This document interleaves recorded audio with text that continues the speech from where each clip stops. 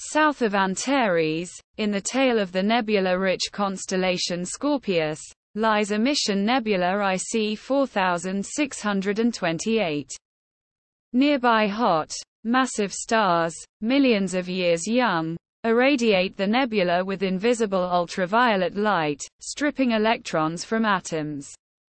The electrons eventually recombine with the atoms to produce the visible nebula glow, dominated by the red emission of hydrogen. At an estimated distance of 6,000 light-years, the region shown is about 250 light-years across, spanning over three full moons on the sky.